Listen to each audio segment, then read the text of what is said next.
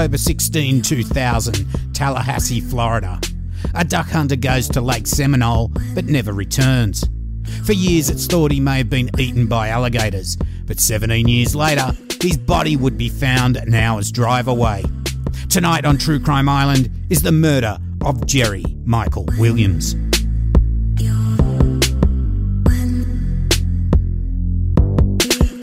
Hi, I'm your host Cambo. Grab a beer and pull up a deck chair. This is True Crime Island, another true crime podcast.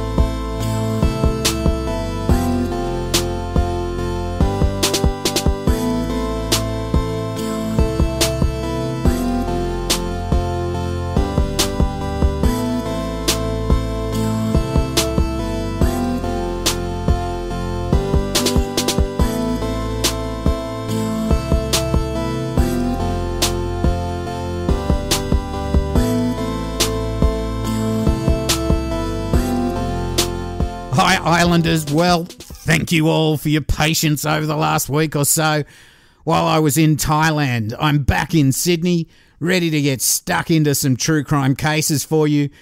Now, there was a big reaction to last week's episode on the romance scams, and thanks so much to the listener that wrote about their saga. So, there may be more.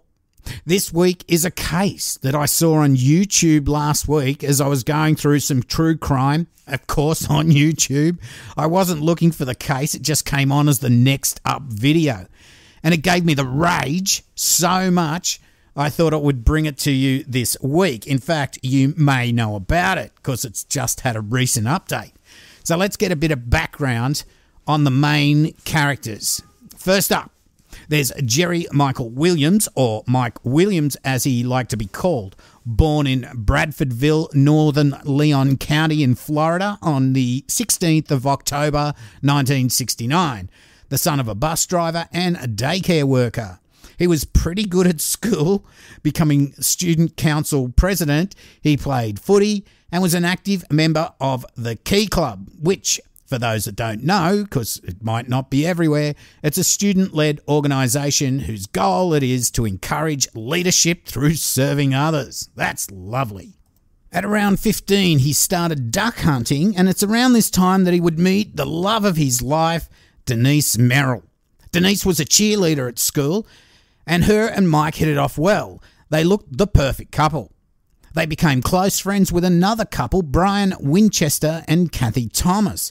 In fact, Mike and Kathy had been together for a little while when they were younger, apparently. They all went to school together and would go on double dates to the movies, dinner, and all that sort of crap. Eventually, they all got married to their respective partners in 19, 1994.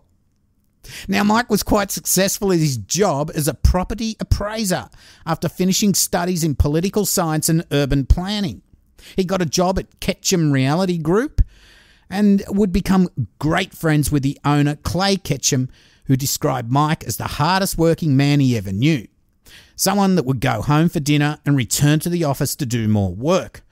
Also, Mike loved duck hunting, and often during the season he would go out hunting in the morning before work. In 1999, Mike and Denise had a baby, and Denise became a stay at home mum as Mike was doing so well at his job. According to his mother, Cheryl, he was bringing in around $200,000 a year, so that's pretty good money, especially 20 years ago. Mike and Denise bought a really nice house in the wealthy part of town. So here's Mike, Mike, very successful, nice house, married to his childhood sweetheart Denise, starting a family with plenty of money coming in. Paradise. Hmm, Brian and Kathy were doing okay as well, but Brian was an insurance salesman and bringing in nowhere near the money that Mike was. However, the couples hung out together and Mike and Brian became best friends. Now, although Mike had a very good income, he and Denise had agreed on limits that they could spend on credit cards so that they would always be financially well off. Any large purchases would have to be discussed and decided upon. What that's a fucking great idea, isn't it? Mike took out a modest life insurance policy on himself now that he had a baby, and Denise was a stay at home mum, as I said, to protect them in case anything happened to him. So, you know, she wasn't working. If something happened to Mike, all that money's going to stop coming in. He's got the family, no drama. In 2000, Mike's father died, and this led to Mike taking out a second life insurance policy. Now, he took this out through his best buddy, Brian, for about a million dollars or so, maybe a million and a half. This was to be paid, the premium, in quarterly installments. Now, Mike, being the obsessive worker that he was, often was out of the house, leaving Denise with the baby. The reality was, Brian, his best mate, was rooting his missus. Yes, Denise and Brian were having it off on the side whenever they got the chance. Brian's wife, Kathy, would comment later that she suspected Brian of having an affair after she said he was going on a hunting trip, but police called her telling her they found his car in a vacant lot near Denise's house. What's the car doing there? What's it doing there, Brian? It's supposed to be duck hunting. Ah, this affair had been going on for some time, so Denise and Brian start talking about where it's going and what they can do. Now, Mike must have suspected something was up. I don't think he suspected Brian of doing anything, but he did decide to cancel the one million or so dollar life insurance policy. Once, of course, the payment was due, he didn't want to pay it again. In September 2000, Mike confided in his boss, Clay Ketcham, that Denise had been making purchases through the credit card larger than the limit they'd agreed upon. Now, I don't know what the limit is or was, maybe a few hundred bucks or a thousand. I don't know. But Mike told Clay that he felt tr- his trust had been betrayed. That feeling of betrayal that Mike had was justified, and maybe he didn't tell his boss everything that he suspected. The reality was, the life insurance policy that Mike wanted cancelled, Denise and Brian made sure another quarterly payment was made to extend it. Now, this may have been the payment that, that Mike had told his boss about. Look, I'm pretty sure it was, but I'm not 100% sure. Denise and Brian had been talking about how to be together for a while. Denise did not want a divorce for several reasons. She was a full on Christian and divorce looked bad. She would also come out of a divorce without the house and maybe without her daughter. Definitely, she would be worse off financially and at least shared custody. Mike had to go, and with the $1 million or so life insurance policy, it was best that he was dead. Denise wanted to be a rich widow, not a poor divorcee. They discussed several ways on how to kill Mike. Denise didn't want him shot at the house or at his office, and she didn't want to be the one to do it either. They even planned that they both both married couples would go on a boat trip to the Gulf of Mexico well, that would throw not only Mike but Kathy, Brian's wife, overboard as well. Brian didn't like the idea of killing the mother of his kids. Eventually, they decided that Brian would go out duck hunting with Mike and make sure he didn't come back. The plan was to make it look like a drowning. Brian would go with Mike, but not let anyone else know he was going. He would get Mike to wear waders on the boat, go out in the deep water, push him over the edge, where the water would fill up the waders and Mike would drown. Brian would then race back to meet his father in law, who he'd organised to meet and go hunting with uh, later in the day, and this would establish an alibi. Oh, and get this Brian would drug his wife so she wouldn't wake up in the morning and notice him missing. So he's going to race back home, jump back in the bed, and go, Oh, darling, uh, i got to go out shooting with my dad now. She'd just go, Oh, okay, whatever. So Mike would be reported missing by Denise, who would say he went off alone duck hunting. His body would be recovered, and that would be that. Hello, insurance money. Easy, eh? What could go wrong? Now, there were time constraints on Mike being killed. First, if they were to do it during duck season, like duck shooting was only allowed on certain days for a limited time of the year. Also, the life insurance policy that Denise had extended without Mike knowing would run out soon. Another factor was that Mike was getting frustrated that Denise wasn't having sex with him, and he was planning on moving out of the house and was suspicious that she was either doing drugs or something else. Also, their anniversary was coming up, and Mike planned to go away with Denise to try and reignite their marriage. Denise obviously didn't want to go. So, if they were to do this, it had to be soon, within the next few weeks. The duck hunting trip was organised for the 9th of December 2000. However, this would be cancelled. Mike called Brian the night before from his office and told him he couldn't go because Denise had asked him not to go. What? Brian was, what the fuck? And as soon as he got off the phone with Mike, he called Denise to find out what she was thinking. Did she want this to happen or not? He told her if she wanted this to happen, they were running out of time, and for her to ruin the plan that night before was not a good idea. She had to be sure, as once Mike was dead, there's no going back. Eventually, Brian and Denise met up and decided that they would go ahead with the plan and not back out. They said if it was God's plan for this to happen, that it would happen, as there was a chance Mike would survive being pushed into the water. Now that's that's some truly fucked up religious thinking, isn't it? Anyway, on the early hours of the 16th of December 2000, Mike had organised to go duck hunting, taking his boat to Lake Seminole.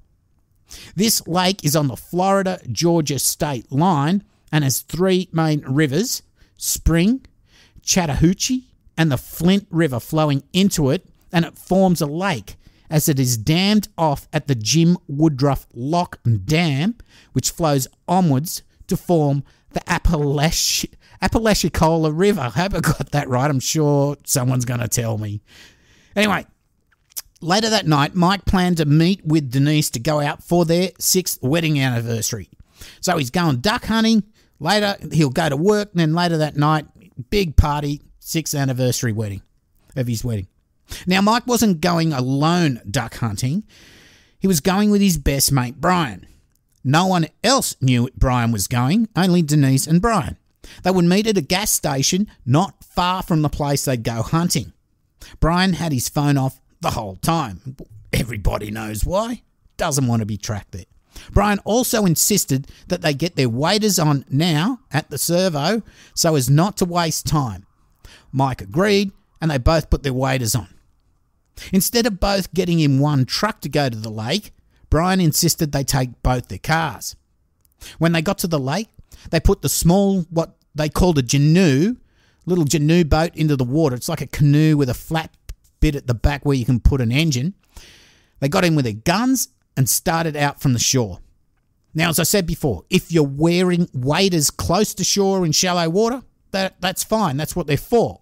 However, if you go into deeper water, these waders can become deadly if you fall in, as they will rapidly fill up with water and they can sink you to the bottom. So Brian was at the back of the boat controlling the motor, while Mike was up the front. Brian steered the boat out from the shore into deeper water. He then somehow gets Mike to stand up, maybe to swap so Mike can steer the boat or whatever. Anyway, when Mike stands up, Brian pushes him over the side. Now, Mike must have been so confused at the moment as he thrashed around in the water, his waders rapidly filling with water. As he screamed for help, Brian moved the boat out of his reach and watched as his friends desperately struggled to keep afloat. Mike was able to get his jacket off and then frantically tried to get the waders off that were now pulling him under. Brian looked on. Then, instead of Mike sinking under the water, his waders came off and he was able to cling to a submerged branch of a tree. Lake Seminole isn't a natural lake, as I said, it's dammed off. There used to be an orchard and forest where the water now covers covers it and it's littered with submerged tree trunks. As Mike clung onto the tree trunk, what must what he must have been thinking. Both men were now in a panic. Now, as you can imagine what Brian was thinking, he must have been thinking, now this is awkward. This isn't how I planned it to go. He and Mike stared at each other in the darkness. In the boat with Brian is not only his shotgun, but Mike's as well. Brian started to circle Mike, still clinging onto the tree. As he circled, he got closer and closer to Mike. Eventually, he raised the shotgun, pointed it at Mike, and shot him in the head. Mike sunk under the water. Brian knew he couldn't leave him there with a gunshot to the head. So Brian grabbed Mike's lifeless body and motored the boat towards the shore not far from where they had left originally. Once on shore, he backed up his truck, lifted Mike's body into the back, and pushed the boat out into the water. At this stage, there was no way Brian could meet up with his father as planned for his alibi, and he also had to dispose of a body now and clean up his truck. He raced back home, freaking out and trying to work out what to do. At one stage, while waiting at a red light, a state trooper pulled up next to him. I bet you he was wondering if God's will was going to intervene, but no, and he continued back to his house with Mike's body in the back. He then crept into the house, hoping his wife was still asleep, and she was. He got in next to her, did a bit of spooning, and woke her just enough to tell her he was going out and he'd slept in, and what now wasn't going out to see his father as planned. Brian then called his father in law and apologised for sleeping in, and then that he wasn't going to meet him. Brian then got out of bed and went back outside to his truck. There he noticed blood dripping out the back of the tray. I mean, fuck, no, nothing's going right. He had to clean that up and decide where to hide Mike's body. He knew of a place near Carr Lake, but had no tools to do the job, so he went to Walmart, bought a shovel, a tarp, and fitness weights. I mean, that's not suspect at all. Here he would meet a friend of his and Mike's, also called Mike. I mean, when you're buying murder kit stuff, you don't want to be running into people you know. Brian and Denise's plan was really falling apart at this stage. So Brian takes off with Mike's body in the back to bury him near the end of Gardner's Road at Carr Lake. The road stops at a dead end. It's just a dirt road and it's surrounded by bush. Brian gets out of the truck, puts down the tarp, and drags Mike's body out of the truck and onto the tarp. He realizes that he's too heavy to take a long distance, which he was going to, into the lake, which at this time of the year it had a low water level. He decides to take him a short distance off the road, and when he finds a spot, he starts digging. He then hears a car approaching. I mean, fuck's sake. He makes sure Mike's body is hidden as best he could and then goes back up to his truck. He chats with the driver who's there to uh, hunt deer. I mean, fuck, you can imagine this. Mike was just supposed to drown. Why don't you just drown? Well, once the hunter is far enough away, Brian continues to dig a grave for his best mate, Mike. Once he's buried, Brian still has the problem of cleaning out all the blood from his truck, and he's supposed to be going to an early Christmas dinner with the family that night. Now, at this stage, Denise has no fucking idea what's happened as she calls around friends and family asking if they've seen Mike as he hadn't returned from his hunting trip. Remember, Brian had his phone off to disguise his location and was busy freaking out and burying the body. She also calls police and reports him missing. First, Brian goes to his parents' house. This is to clean the truck and tries to lose, use a hose to clean out all the blood, but that doesn't work that well. So he tries to find a car wash with a pressure washer. Now he finds one, but it's on the other side of town, so it's just up the road. He's got to go for miles. Now, this does a better job, but now he has to go meet up for the Christmas meal, unaware that people are now starting to go to Lake Seminole to search for Mike. Brian goes to the Christmas party with his family, and then on the way home, his father calls him to tell, tell him Mike's missing from a duck hunting trip and that he needs to come and help look for him. Brian meets with his father, and they go to the lake where several of Mike's friends are already searching near where his truck was found. Brian and his father take a boat out to search, and as it got later and most people had stopped for the day, Brian's father refused to give up. You see, Brian's father loved Mike, thought he was a good bloke. A storm was approaching as they spotted Mike's boat. They didn't touch it, and there was no sign of Mike, so they returned to the shore, told police of what they'd found just as a huge storm came over the area. So, for the next couple of months, police continued to search the area with help from family and friends, but still no sign of Mike. Now, out of 80 odd deaths in the lake, this was the first time that the body or body parts had not been found. It started to look like an alligator maybe had eaten Mike after he'd fallen out of his boat. Now, in one of the searches, Brian took a hat exactly like Mike's. So Brian's going out on searches all the time, you know, with his dad and everybody else. So he buys a hat exactly like Mike's and drops it in the water so someone could find it. And this would give weight to the theory that Mike had drowned and had been eaten or whatever. You see, Denise needed some sort of evidence that Mike had met his end in the lake so she could claim on the insurance. The hat was found, and then his jacket, his hunting license, and then the waders. The problem is, all this looked in pretty good condition, not like it had been at the bottom of a lake for months. Also, nothing had signs that an alligator had attacked Mike. Plus, alligators at that time of year sort of go into a hibernation state because it's cold and they don't eat. Cheryl, Mike's mum, smelt a rat. In February 2001, search efforts are wound down and a memorial is held for Mike. Now, Denise was able to go to court, this is with Brian's dad's help, to get Mike declared dead so she could claim on his, on his insurance because she was complaining she had no money. This was only six months after he went missing, whereas the normal waiting time to declare someone dead is several years. Now, Cheryl doesn't let things go, like a good mum. She knows things don't add up and constantly calls the investigators asking them to keep on the case. Denise, at this stage, still lets Cheryl access to her granddaughter, but soon she would cut this off. Brian and Denise still need to not be seen together, so they only rarely meet up, and it won't be it won't be until 2005 that they get married. Instead, Brian and Kathy would invite Denise out. So Brian and Kathy are married. They just invite Denise out. That way they got to be together without suspicion. Now, Kathy wasn't stupid. She described feeling like the third wheel on these occasions. Well, as time goes on, as I said, Brian divorces his wife and marries Denise.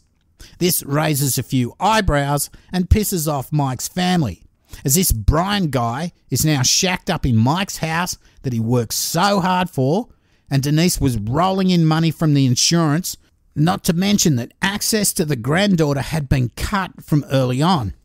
Denise also was just not interested in helping to find Mike's body, either searching or helping with some of the insurance money to do an investigation or whatever. Brian and Denise also being married meant they wouldn't have to testify against each other.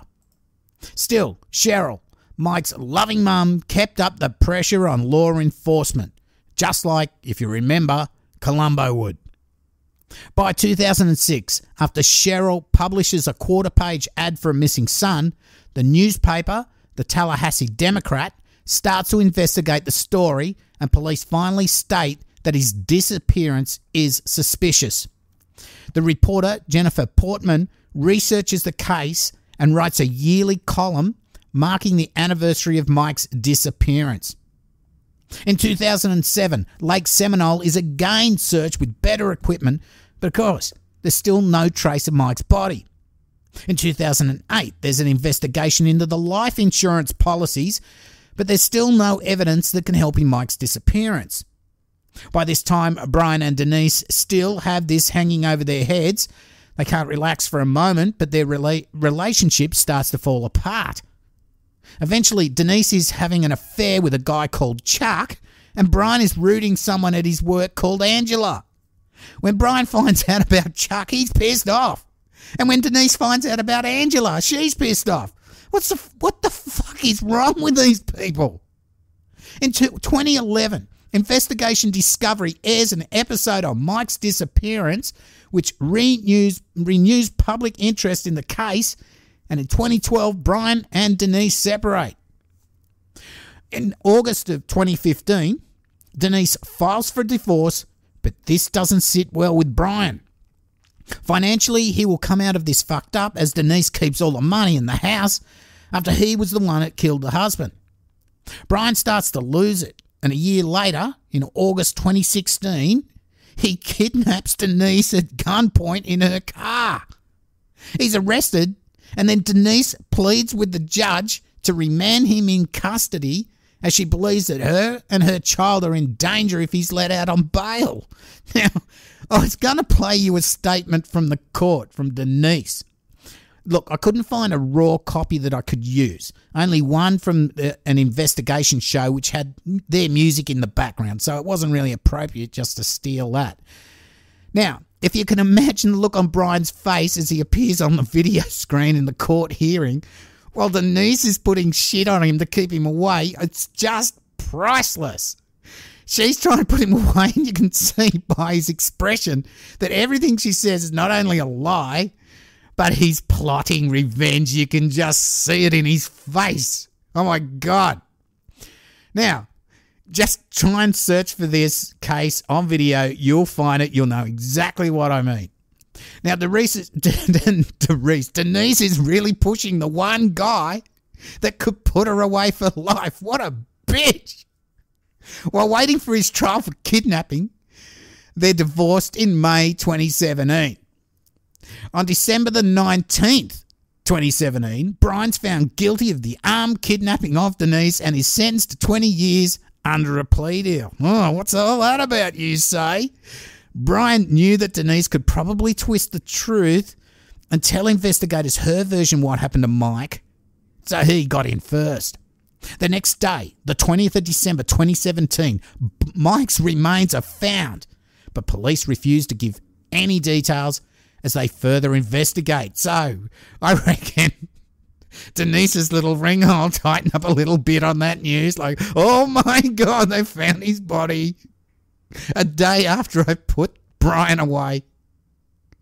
By May the 8th, 2018, Denise Williams was arrested at her workplace at the Florida State University on charges of first degree murder, conspiracy to commit first degree murder, and accessory after the fact in the killing of her husband, Mike Williams.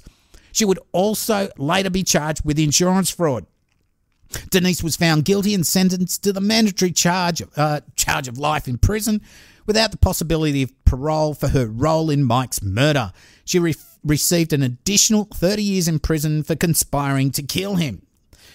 Cheryl, Mike's courageous mum, who never gave up on him, asked Leon Circuit Judge James Hankinson to order her locked up for the rest of her life. And oh, yeah, I reckon she deserved it 100%.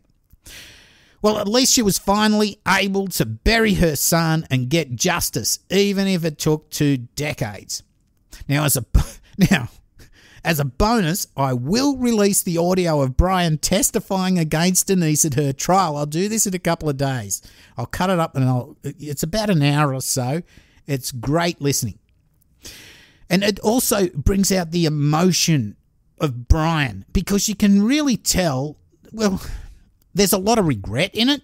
Whether or not the remorse, well, if he had real remorse after he did it, after a few days, he would have just said, hey, it was me. But we're talking 12 years later, he's sort of stuck in this situation where he decides to confess. So I wouldn't say it's so much remorse, but there's so much regret, and especially the bit when he talks about his father. He's going out with his father to try and find Mike it really breaks him up. So, you know, he, well, he deserves everything he gets. So, anyway, Islanders, that's the ultimate betrayal.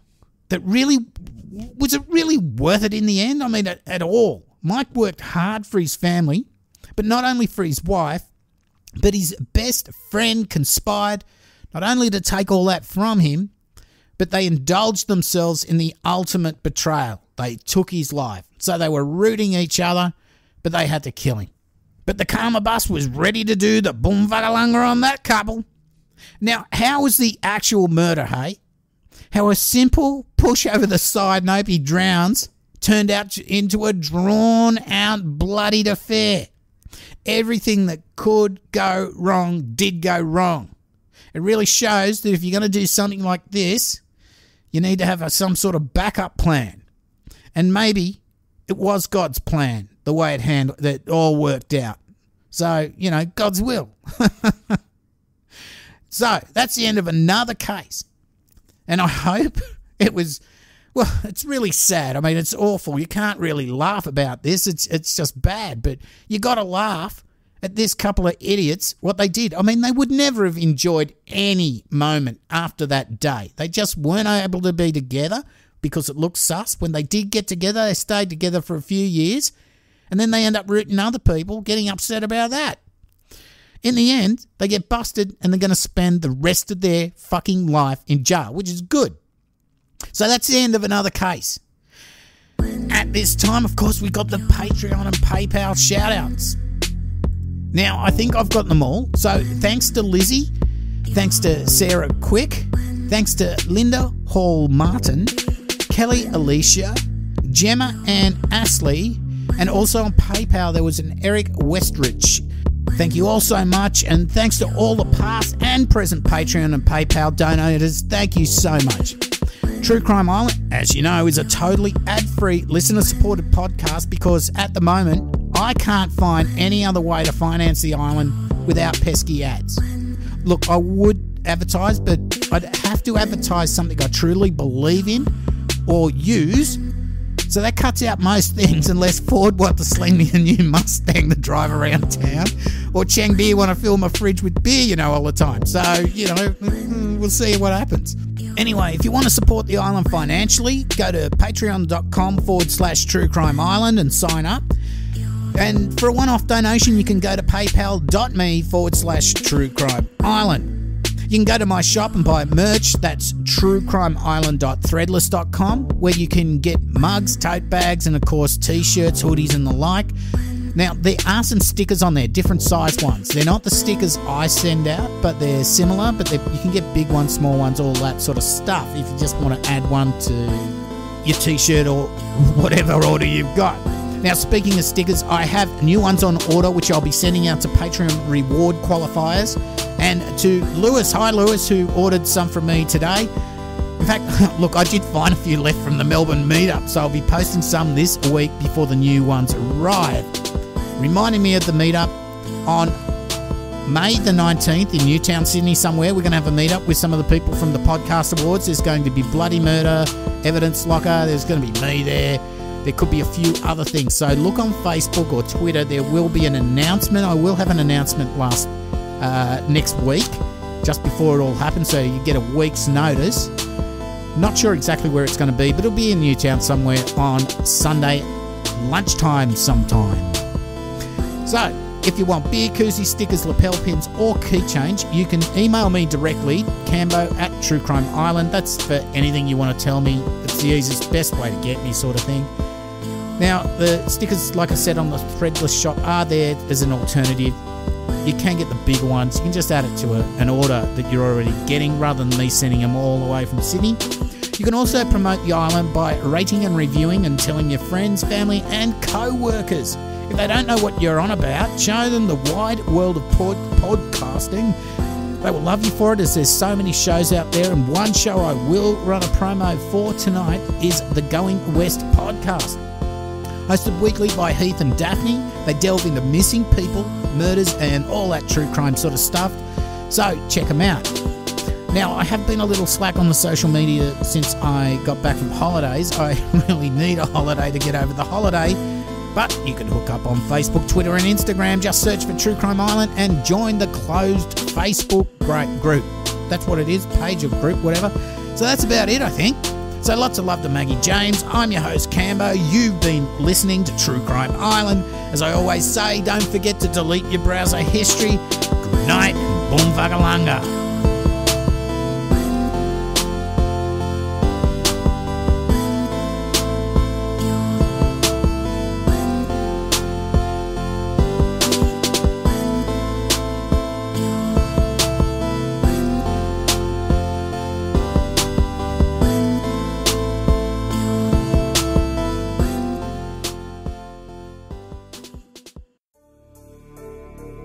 What's going on, true crime fans? I'm your host, Heath. And I'm your other host, Daphne. And we're from Going West, a true crime podcast where we discuss various murders, disappearances, and unsolved crimes. We release new episodes every Monday, and each week we have a different case to dive into.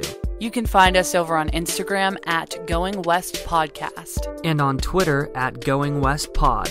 Listen to some of our episodes on Apple Podcasts, Spotify, Google Play, or wherever you listen to podcasts. You can also find us over on Patreon, patreon.com slash Going West Podcast, where you can get exclusive, bonus, ad-free episodes every month. If you're looking for a new true crime binge, check out Going West. For everybody out there in the world, keep it real and stay weird. Cheerio.